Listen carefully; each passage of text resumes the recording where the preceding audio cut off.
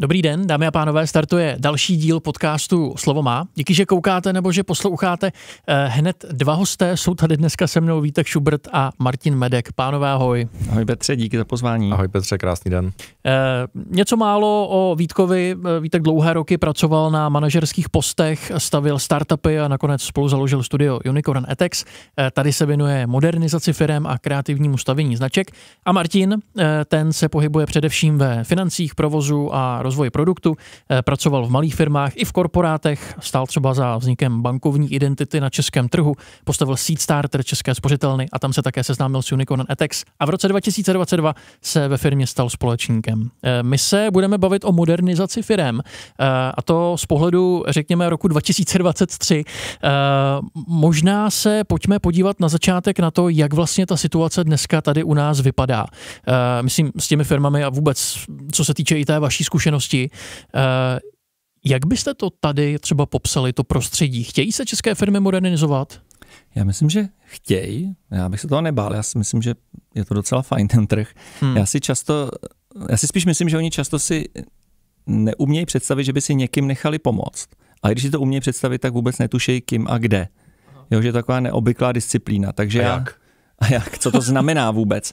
Myslím, že tím, že je tady teďka taková jako generační obměna, že je spoustu firm, co existují 20-30 let, co byly založeny po revoluci, a teď docházejí k tomu, že eh, buď majitelé chtějí se jako trošku stáhnout, mít komerční management, předat dětem, nebo naopak chtějí tam zůstat, ale cítí, že potřeba tu firmu přeci jenom po těch letech už dát nějaký nový vzduch, nový směr. Mm. A, a to je to, kdy si nás tam pozvou, ale někdy prostě oni to cítí, že by to potřebovali a ani nevědí, že existuje někdo, kdo jim v tom pomoct může. Takže si to třeba zkoušejí sami, ale tam většinou se toho nedoberou, protože logicky ty rutiny jsou strašně silný a je to většinou taková jenom kosmetická úprava, dělají to furt stejně dál. Takže já si myslím, že teďka ten trh, když se stal na rok 2023, je vlastně takový, že v příštích, řekl bych, čtyřech, pěti letech eh, hodně těch firm si k tomuhle dojde, protože ten trh se strašně změnil od roku 2015. Různýma vlivama, mm. nejen covidovejma a válečnýma, ale obecně fakt se změnil vlivem technologií, návykama zákazníků, co očekávají a tak. A, a ty firmy začnou strašně cítit, protože tím, že nastala v době té konjunktury taková jako hyperkonkurence, eh, jak eh, říkal kdysi Kotler v těch svých knihách, tak po fázi hyperkonkurence nastává období pár krachů a konsolidací, skupování firm vzájemně mezi sebou. A to si myslím, že nás čeká, ne jakože recese a podobně, hmm. prostě tím, co se děje na trhu, to chodí ve vlnách. Hmm. To je hmm. přirozený, to se děje 100 let. A teď si myslím, že tahle vlna se blíží, že ta hyperkonkurence zase znormální ten trh. No a ty firmy budou přemýšlet existenčně o sobě a, a to je často už vidíme dneska na našich klientech, to je to, proč si nás zvou, že si uvědomují někdy šanci, někdy ohrožení a chtějí si nechat pomoct. Hmm. My vlastně letos slavíme, myslím, my jako všichni český národ slavíme 30 let České republiky samostatný a to je plus minus i podobný věk uh, hodně našich klientů. Jsou to firmy 20, 25, 30 i let, který slaví, protože jsou logicky založený v 90. Hmm. letech, dřív hmm. to bohužel nešlo. Uh, a takže mají za sebou už nějakou historii a já si o roku 2023 myslím, že už je to takový, že uh, nechci použít, a použiju termín jako možná za 5 minut 12 z pohledu modernizace firm, protože my už u těch klientů, kteří mají za sebou tu x desítiletou historii, uh, vidíme, že k tomu nějakému zamrznutí a k té potřebě modernizace tam fakticky došlo ne 22, nebo nedojde 23, nebo ne ani covidem, ani kvůli válce na Ukrajině, ale právě nějakých těch 5-6 let zpátky, takže někde kolem toho roku 16-17, kdy opravdu ta firma fakticky, když se podíváme do čísel, když se podíváme do obratu, když se podíváme do ziskovosti, když se podíváme o tom, jak pracují s, s,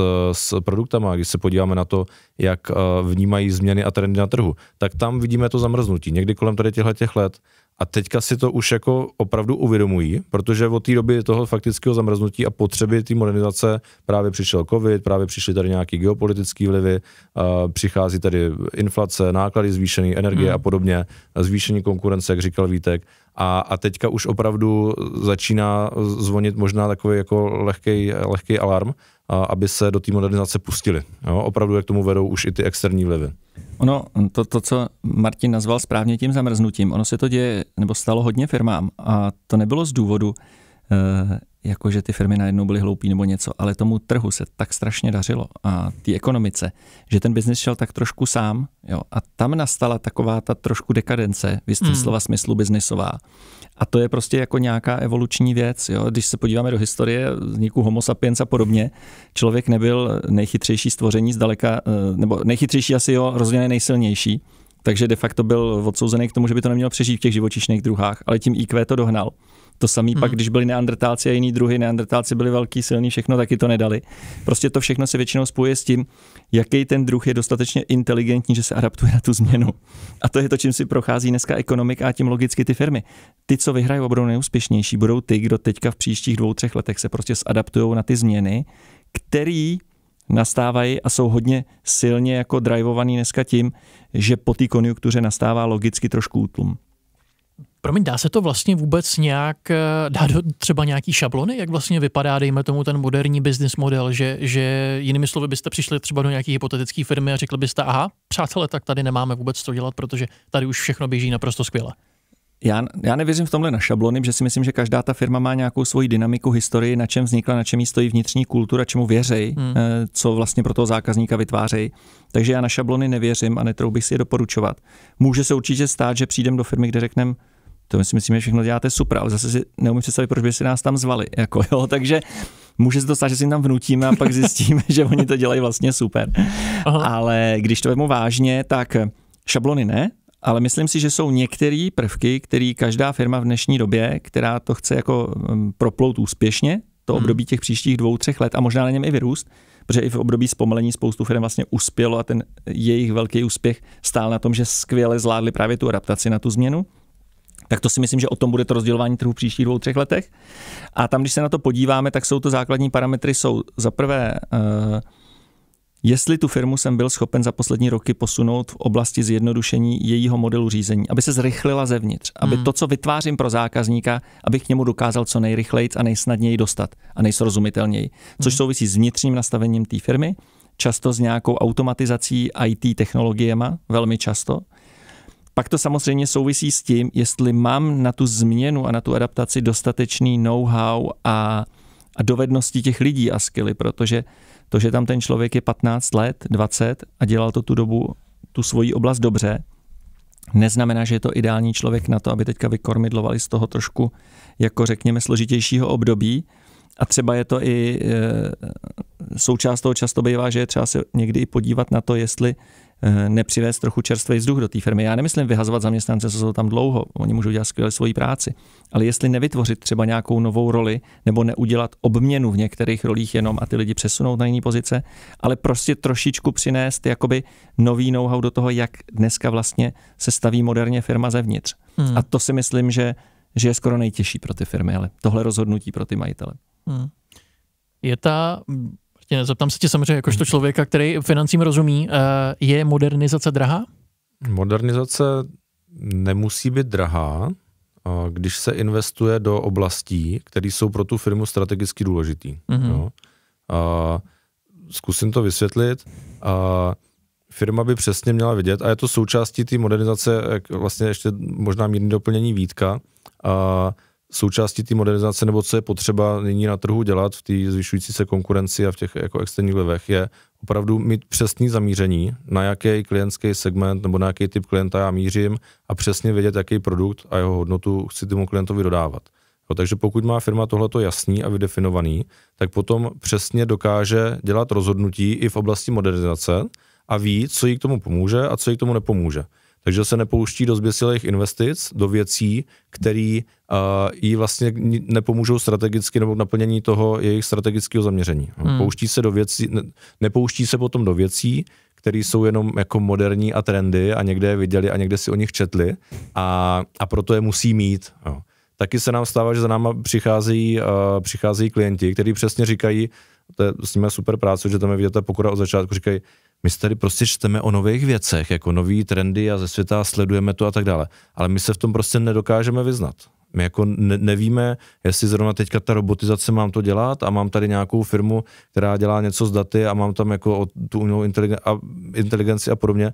Takže jako oni jsou třeba uvědomělí, ví, a ne, že se mají věnovat těm trendům, ale neví, co přesně z toho a chcou se poradit právě, v jaký oblasti tu modernizaci mají nejlépe provést a do čeho potom investovat. Hmm. Jo? Protože za mě, eh, když se vrátím úplně na začátek ty otázky, jestli je drahá nebo finančně náročná nebo není, uh, to není o absolutním ukazateli. Jo? Pokud je, jsou ty investice vynaloženy k tomu, že pomůžou k nějakým klíčovým metrikám té firmy, což je obrat, zisk hmm. a případně i nějaký další jako metriky, kterými ta firma měří svůj úspěch, tak pokud vedou tady k tomuhle tomu a, a je to správně finančně naplánovaný, tak to je za mě účelně vynaložená investice. Já si myslím, že drahá není, jo. rozhodně, protože ona se strašně prodraží, když ta firma se nemodernizuje. Protože když ta firma jako zastará to, tak pak ta skoková změna, která je k tomu dovede, ta je fakt drahá a může to znamenat, že to taky třeba nepřežijou i tak. A nebo na ní už nemají peníze, hmm. protože už tak zpomalí, že si to nemůžou dovolit. Takže ona, když se dělá včas a průběžně, tak vlastně je součástí nákladů té firmy. To je běžný plánovaný náklad, takže vlastně není drahá, protože ona se násobně zaplatí v tom, proč se dělá. A zároveň ty lidi, a navážu trošku na Martina, někdy říkají, my jsme četli tohle, nebo se v tom nezorientujeme, nebo jsme viděli tohle. Trošku problém v dnešní době je i jako uh, hypermnožství informací, které na nás dopadají, aby si ty lidi udělali správný obrázek, protože spoustu z nich je samozřejmě milných, špatných, jenom když se podívám, kolik vychází špatných knih odborných dneska. jo, vychází spousta skvělých, ale řekl bych, že ještě větší spousta těch špatných, že jako kde kdo má dneska pocit, že by měl napsat knihu, že má světu co říct. Mm. A těch špatných knížek je spousty a oni ty lidi někdy jako zavedou úplně mimo, nebo publikaci jakákoliv. I někdy byl článek, to zvládne. Takže bych řekl, že tohleto e, nastavení extrémního přívalu informací těm lidem trošku stěžuje tu optiku, jak se v tom zorientovat. A jedním z našich úkolů je jim to trochu vyčistit a zjednodušit tu optiku, jim dát tu jakoby správnou pro ně, bez ohledu na tyhle ty balasty, které na nás z těch sociálních sítí a všeho hmm. i médií dopadají. Dá se třeba mluvit o nějakých obecných trendech v, v té modernizaci těch firm, jestli to je třeba nějaká prozákaznická zkušenost, nebo naopak jako právě ta robotizace a tak dále? Dá, já si myslím určitě. Eh, jedna věc je automatizace v těch firmách. Prostě využívání IT služeb a technologií. Jestli hmm. je to výroba, může to být robotizace. Jestli je to běžná firma, která poskytuje služby, tak pořád ještě je dneska spoustu IT systémů. To není jenom, že mám webové stránky, ještě většinou špatný. To je opravdu o interních jako IT službách který mě jako firmu můžou strašně zjednodušit, anebo výrazně zlepšit tu zkušenost mýho zákazníka. Nakonec, se budu dneska objednávat holiči a on bude mít dobře udělaný kalendář na webu, přes kterých se buknu, tak je to pořád ještě jako když to řeknu IT posun, než že někam volám na recepci a podobně, jo. Aby jsme to nebrali, že je to jako hyper složitý a nějaký šíleně drahý, tak to úmyslně dávám na triviálním příkladu. Takže určitě je to věci okolo automatizace, určitě jsou to věci okolo toho, jak si nastavit firmu a její chod zevnitř, protože to se prostě strašně vyvíjí právě s tou změnou těch přístupů k těm zákazníkům, protože dneska, jestli někam se musí firmy zaměřit, aby to přežili, tak je, jestli opravdu vyrábějí nebo vyrábějí, vyrábějí produkt nebo poskytují službu, která opravdu tomu zákazníkovi vytváří nějakou hodnotu, za kterou je ochoten platit. Hmm. Protože tím, že ta ekonomika teďka trošičku jako hapruje, nikdo nevíme, jak to bude, ale trochu hapruje nebo stagnuje, tak lidi budou víc zvažovat, čeho ty peníze dají. A spoustu zbytečných věcí prostě nebudou chtít, nebo nebudou to chtít ani vyzkoušet takovouhle službu nebo produkt, že nebudou cítit tu potřebu, nebo nebudou jenom chápat tu hodnotu. Třeba jí to pro ně má, oni tomu jenom nerozumějí. Hmm. Jo, jako když, ta firma neumí vzbudit, ale tak, zase tu hodnotu. Je to jako když si dneska stáhneme z App Store aplikaci, řeknu, to je jedno, ona stojí 5 dolarů, tak ji vyzkouším a pak ji za hodinu smažu, že řeknu, ta byla strašná. Hmm ale to je přesně ten typ služby, který ty lidi si odpustí, když jde trochu do tuhýho. A já, abych se nestal touhle zbytečnou aplikací, když jsem firma, tak eh, musí mít jasně definovaný to, že ten člověk chápe, co mu vlastně přináším, proč by ty svý peníze, který má omezenější, měl utratit zrovna u nás. A tam cítím, že tohle v moderním způsobu firmy je strašně důležitá disciplína, to souvisí se strategií firmy. A tam často české firmy jako narážejí, protože to bylo buď podceňovaný, anebo jak se dařilo ty poslední mm-hmm. roky té ekonomice, tak to prostě nebylo potřeba. Tohle je navázaný vlastně na, na, na další na trendy jako modernizaci. Tak tohle to přesně, čím zakončoval Vítek, je navázaný na, na, na jednu podstatnou věc ve změně uvažování, vlastně interně v té firmě. A to je o tom, že ta firma by měla přestat uvažovat napřed o produktu, ale měla by napřed vnímat ten problém, který ten produkt má řešit. Jo, že pokud se tady bavíme o hodnotě, a proč si ten zákazník kupuje služby nebo produkty té dané firmy, tak je to opravdu, protože přemýšlí tím, co mě to řeší za můj problém. Mm. Jo. Já uh, ne, ne, ne, nemusím řešit náležitosti toho produktu tolik, pokud mě to vyřeší můj problém. Jo, takže to uvažování napřed musíme znát problém našeho zákazníka, musíme vědět, kdo ten zákazník je taky, že a znát problém zákazníka a potom vlastně k tomu přizpůsobujeme produkty, je ten, který uh, se snažíme taky ve firmách, kterými pracujeme, uh, do té firmy dostat. Protože často je to naopak. My tady máme produkt, a kluci na dílně vymysleli, uh, že hmm. houdláme takovýhle příští rok a potřebujeme na to novou výrobní linku, jak to pár milionů stát bude, ale jako v číslech říkali zase kluci za salesu a, a, a dámy, ať nejsem jenom takhle orientovaný, že, uh, že, že, že se to zaplatí. Jo. Takže tohle je, tohleto je další věc, ve které jako hodně pracujeme. Mám ještě jednu, nebo ty chceš doplnit? Já to chci doplnit, Aha. jenom, že tam dochází k jedný ze zásadních mílek v této oblasti u firm, který často vidím. Oni žijou v iluzi, že cenu pro zákazníka vytváříme my jako firma. Mm-hmm. Jakože si ta firma řekne, my určujeme tu zákaznickou cenu, ale ona to není pravda. Speciálně v tom období, co se blíží. Tu cenu určuje ten zákazník. On si rozhodne, jestli tyhle peníze chce za takovouhle věc zaplatit. A nebo třeba chce menší a naše konkurence to nabízí za půlku, já jsem jenom tak mimo. Mm. Nebo jsem tak špatně nastavený zevnitř, že to levnějc neumím. Ale jak to, že konkurence to samý v té samé kvalitě udělá za půlku. A to s tím už hodně souvisí. Takže je tam jeden takový jednoduchý kontrolní bod, jestli ta firma věří tomu, že ona je ten jediný středobod toho, kdo určuje cenu do trhu, tak už mají první problém na stole teda. Hmm. Protože no, o tom rozhodne zákazník. tak jak pracujete a jak jsem to měl šanci pochopit, tak eh, s těma firmama vlastně tvoříte určitý plán, že s nima stoupáte vlastně, vy tomu říkáte Everest, jestli se nepletu, uh, což vlastně sebou nese i určitý, řekněme, nějaký jako milníky, do kterých se vždycky ta firma dostane. Co si pod tím vlastně člověk má konkrétně představit Vítku, když se teda řekne, tak jdeme teďka budovat nějaký plán? Jo, my vždycky říkáme, ten Everest je něco, co máme jako nějaký ultimativní cíl. My přijdeme do té firmy a řekneme, hele, kde máte, jaký je váš cíl za pět let, kde byste chtěli být, plus minus třeba. Hmm to ještě něco, kam dohlídneme rozumně, tak abyste si za pět let ohlídla, řekli jste, to jako fakt jsme dobrý, že se nám tohle povedlo, že jsme toho dosáhli, že jsme si řekli, fakt jsme toho dosáhli, jsme opravdu jako dobrý, udělali jsme kus práce. Že tam je potřeba mít tu sebechválu v tomhle smyslu a být spokojený s tou svojí prací. A my se snažíme z nich vytáhnout, co to je. Oni to často ta firma, 90% firm to neumí pojmenovat, když tam jsme, ten úvodní workshop trvá 4 hodiny. Hmm. A nám často trvá ty 4 hodiny se dobrat k té jedný, dvou větám, co to je. My si říkáme, to není, že řeknete, my zdvojnásobíme v obrat nebo to. Ne, ne, ne, ne, ne. My chceme vyjádření slovní, toho, co to znamená, čím se to projeví. Protože to, že z toho dojdou ty peníze, už je jenom následek toho.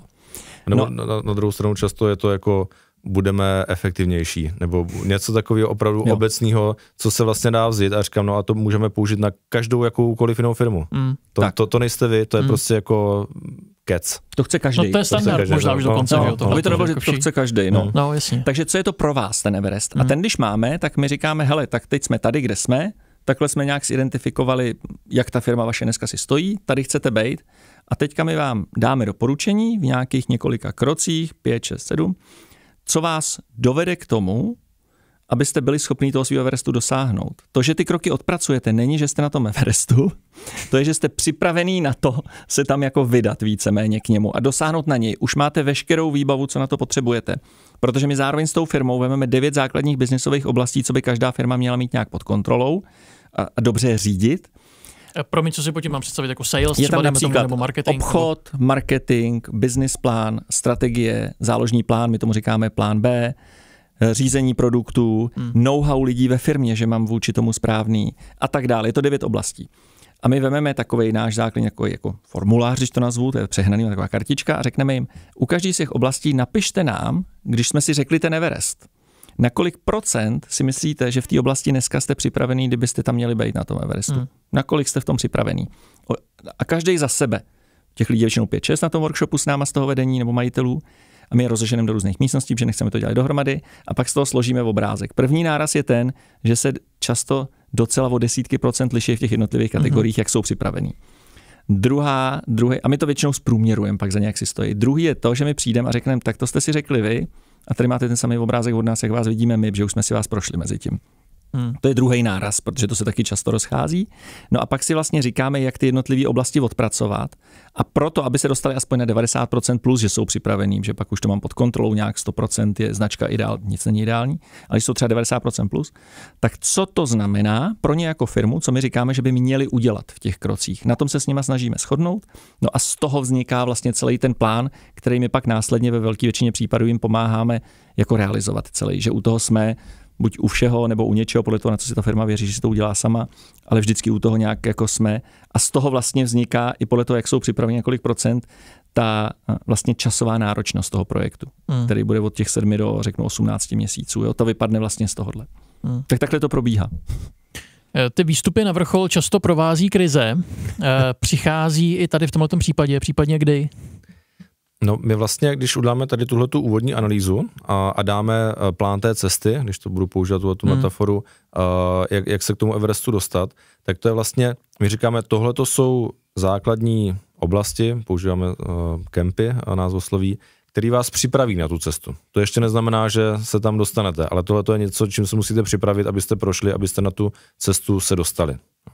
Takže tohle je vlastně ten výstup a potom začíná ta práce na té realizaci.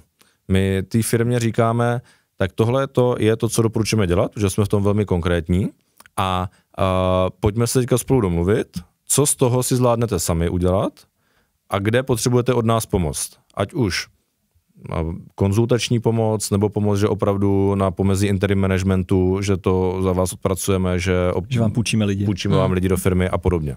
Jo. A někdy ta krizová situace je už na začátku, kdy ta firma říká, to zvládneme úplně všechno s přehledem sami, a pak si říkáme jako zase tu otázku, tak eh, proč tady teda jsme, když jste to všechno vlastně tak nějak věděli a víte jak na to. A já to myslím, jako nemyslím to nějak jako to ne, negativně. Jo? Já to mm. myslím jako pořád jako tomu, tomu přistupujeme tak, jako, že to je právo samozřejmě to takhle říct. A, takže někdy, někdy třeba my to vidíme a máme už zkušenosti, jak postupovat, který ty věci udělat napřed. I to tak doporučujeme, který dělat zároveň. A někdy po nás se klient začít dělat všechno dohromady na začátku nebo rovnou, pustit se do všeho, hmm. to říkáme a to tu firmu rozloží úplně. To, to, to nepřežijeme, to bude nějaká imploze. Jako, jo. Tady vy si na firmu nemůžete dát, uh, uh, jak to bývá na těch silnicích, omlouváme se za dočasné v okolí stavby nebo něco takového. To se na, na, musíme to opravit. Ano, musíme to opravit. To se jako na, na, na firmu jako dát nedá. Jo. Hmm. Ta, ten zákazník to nemůže poznat, respektive může to poznat maximálně změnu k lepšímu, ale ne k horšímu a, a té firmě nepromine že se, že se uh, chvilku zhorší nějaká, nějaká věc. To odejde a, a půjde za konkurencí. Takže uh, shodnout se vlastně na tom, jakým způsobem a co, co budeme dělat, tak tohle je jeden z, z potenciálních jako krizových, krizových okamžiků. A Potom další krizový nebo kritický okamžiky jsou, když uh, my vlastně vypracujeme, jak tu konkrétní biznesovou oblast už jako dělat a už, už, uh, už vlastně máme kompletně připravený, jak to nachystáme, uděláme a a, a ten klient do toho zase ho nějakým způsobem, že to bortí, ve smyslu, samozřejmě si necháme jako názor cizí, jako je, je hodnotný, takže to, to, to přijímáme.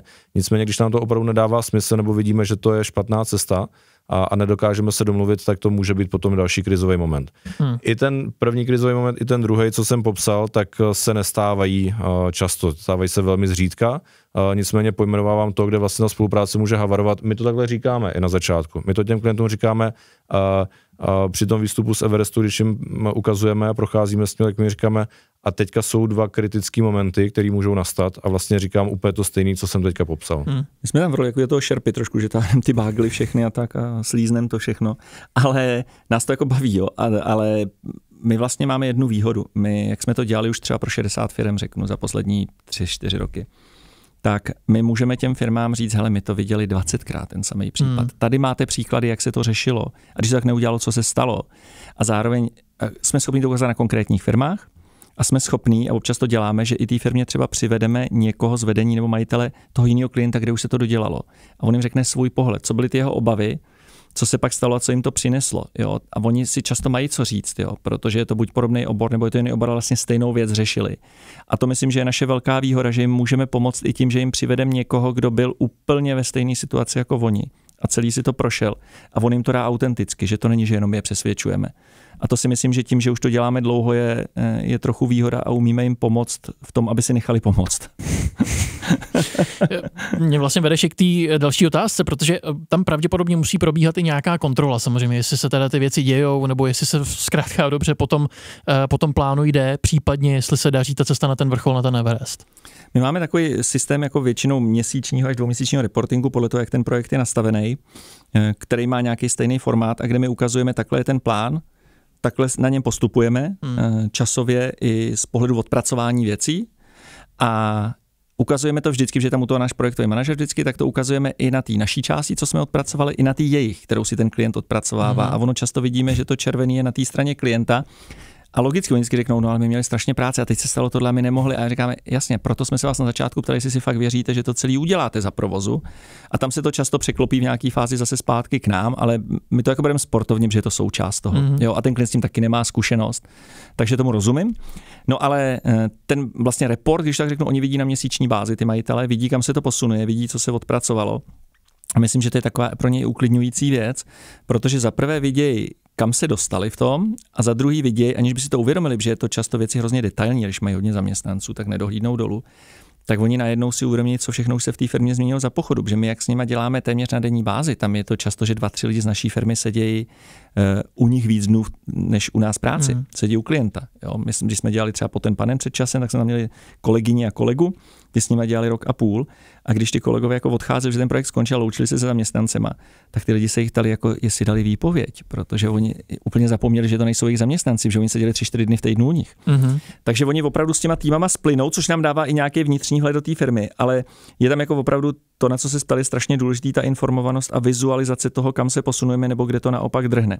A když se to dělá pravidelně, tak to strašně pomáhá tomu, aby ten projekt se držel v nějakém časovém rámci i rozumných kolejích. A, a to funguje dobře, musím říct. Hmm. Eh, možná ještě, Martine, pojďme se podívat třeba na ty výsledky zase samozřejmě té práce. Eh, jak se vlastně dají definovat? Nebo když bychom se podívali zase zpátky na ten Everest nebo na ten plán, tak eh, co tak jako často bývá tím, tím kýženým cílem? Kýženým cílem myslíš jako toho Everestu, jako který, který je nahoře? Nebo, Možná nebo... klidně celého toho projektu, protože ten uh-huh. Everest už jsme, už jsme zmínili, tak co vlastně jako cílem toho projektu, co, co má uh-huh. být výsledkem uh-huh. té modernizace? Uh, ty oblasti, víte, jak říkal, že máme devět biznisových oblastí, na kterých pracujeme.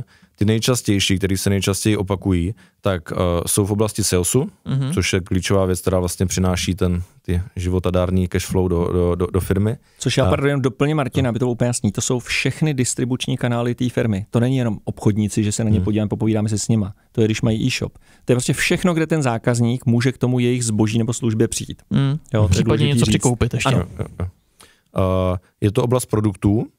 Tady my neradíme té firmě, jak dělat líp jejich produkty. Jo, my nejsme expert na každý produkt, to bychom tady mohli založit si sami jako hmm. x set nebo tisíc firm. Uh, my jim říkáme i jak pracovat s produkty, jak nastavit logiku produktového portfolia, jak nastavit logiku vývoje nových produktů, jak nastavit logiku měření právě nějakých kritérií u produktů a podobně. Jo, takže je to oblast produktů. Pak to velmi, velmi často bývá oblast strategie. Strategie a strategického řízení firmy jakou mám strategii. Mám vůbec strategii, jak s tou strategií pracuji. Uh, vysí někde v lobby na, na, na zdi a, a, a to je tak všechno, nebo opravdu každý zaměstnanec každý den si dokáže podívat nebo ví, jak přispěl k naplnění strategie. Uh, na to je navázaný, jak ta firma funguje zevnitř, nebo uvnitř, jak je řízená, uh, jak proudí informace firmou, jak se dostává zpětná vazba od zákazníků uh, napříč firmou, jak se dostává zpětná vazba zaměstnanců napříč firmou, jak se s ní pracuje, jestli vůbec tyhle ty slova tam, hmm. jako, nebo jestli tyhle co ty činnosti... brzdí zevnitř no, vlastně. Jestli tyhle ty činnosti vůbec firma dělá, co tu, co tu firmu brzdí, co jsou nej, ty největší bariéry. Takže to je všechno pod tím vlastně systémem řízení firmy a a přemýšlím, co dá marketing. Marketing v tom nejširším slova smyslu. Někdy je to práce s brandem, Někdy je to opravdu exekutiva marketingových kampaní a tvoření kontentu pro marketingové kampaně. A jestli ta firma chápe, co je marketing, že marketing není jenom vizu, vizuální mhm. výstup, mm-hmm. že marketing je cenotvorba, marketing je monitoring konkurence. Mm. Jo, to často, řekl bych, u půlky klientů dospějeme k tomu, že nemají úplně jasno v tom, co je to marketing opravdu. Mm. Jo. Mm. že to není kampaně jenom jako, mm. nebo logo. No. Mm. A pak je, to, pak je to i procesní řízení, taky velmi častá součást eh, toho, eh, toho projektu, kdy pracujeme s klientem na procesech ať už na těch jako řeknu základních procesech, který si můžeme představit v oblasti ani třeba logistiky nebo v oblasti jako operations, v oblasti, v oblasti skladu a podobně, tak po procesy třeba, který uh, jsou přímo čelící klientů nebo čelící ve, vztahu s klientem, klientské cesty a podobně. To jsou vlastně disciplíny, které spoustu firm nemá a, a, a, a jeden z trendů na trhu je, že vlastně zákazníci si přináší ty zákaznické zkušenosti z jednoho odvětví na druhý. Takže já třeba, když jdu do, do, do firmy v odvětví, teďka si vymyslím uh, automotiv, uh, nebo automobilový, a tak si tam přinesu klidně zkušenost z oblasti jako rychlobrátkového zboží, protože jsem zažil nějakou klientskou zkušenost, ta je super, a najednou ji očekávám vlastně všude. Hmm. Proč bych ji neměl dostat všude? Takže nevím, kolik jsem jich ani vyjmenoval, nějakých eh, pět, čtyři, pět oblastí, který, který, uh, který se velmi často opakují. Já doplním ještě tu jednu tu produktovou. Tam hmm. by se mohlo zdát na první dobrou, že klient, když s ním řešíme produktový portfolio a jeho životní cyklus, že vlastně řešíme, jak vytvořit nový produkty. My mnohem časy řešíme, jak vyřezat některé staré produkty, jo, protože klient nemá sílu je zabít, když už si je vytvořil. Mm, mm. A oni z pohledu profitu eh, třeba nejsou tak vysoko, ale tu firmu výrobně a procesně a všim, než to zákazníkovi, stojí tolik, že na nich skoro i prodělává. Někdy, ale ta někdy i doslova. pro tu firmu je tak, obrovská. Je to jako, že si zabíjí vlastní dítě, že naše práce na produktovém portfoliu je často mnohem víc víc jako obrazně řečeno křovinořez a to hmm. produktový portfolio prořezat, aby mohly být nový produkty, nejenom neustále přidávat nový, což je velmi častý úkaz u firm. Jenom přidáváme nový, hmm. ale nezabíjíme starý, takže neřídíme ten cyklus. Tak jenom jsem chtěl doplnit Martina ještě v té produktové oblasti. Ono pohledem do budoucnosti, tady uh, samozřejmě nikdo nemáme křišťálovou kouli, ale uh, jak si třeba myslíte, že se bude vyvíjet to přemýšlení, ten mindset vlastně těch firm uh, nad tím, že ale asi by nebylo dobrý úplně čekat 30 let, než se zeptáme na to, jestli potřebujeme něco, něco změnit nebo něco zmodernizovat. Bude se to nějakým způsobem posouvat vlastně k lepšímu v tomhle směru?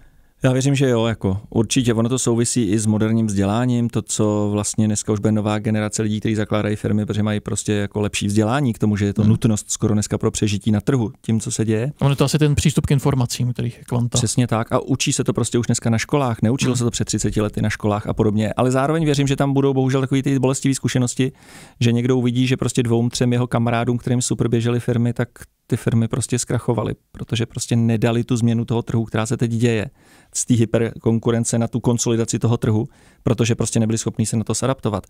A vyděsí je to k smrti, takže třeba udělají něco ze sebou. Jo? Takže budou si muset projít občas i touhletou jako neúplně příjemnou zkušeností, ale ona je to součást nějaký jako historický zkušeností, která posune celý ten trh a já věřím, že bohužel, ale fakt si myslím, že tak bude, že část těch firm si tím prostě bude muset projít. Mm. Martine, tvůj pohled? Firmy se modernizaci podle mě zlepšovat budou, protože jsou tady už roky, další roky zkušeností. A jestliže nám trvalo v 20. století nabrat nějaké zkušenosti jako třeba 10 let, tak teďka si myslím, že v naší době se ty zkušenosti nazbírají třeba klidně za půl roku. Jo? V té dynamické době, v době, kdy jako fail fast, fail often přístup, v době, kdy proudí spoustu nových informací, tak ta historická zkušenost, která dřív trvala roky nebo desetiletí, se dá teďka získat třeba za rok. A tohle to jsou věci, které úspěšní podnikatele můžou použít ve svých vlastních biznesech.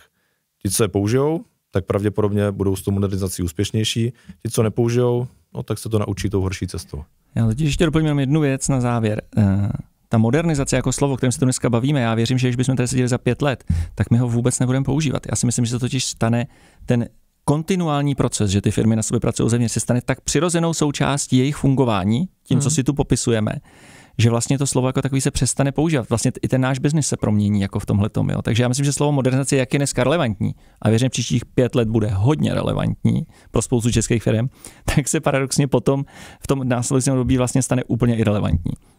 Vítek Schubert, Martin Medek, pánové, děkuji za rozhovor. Děkujeme za pozvání.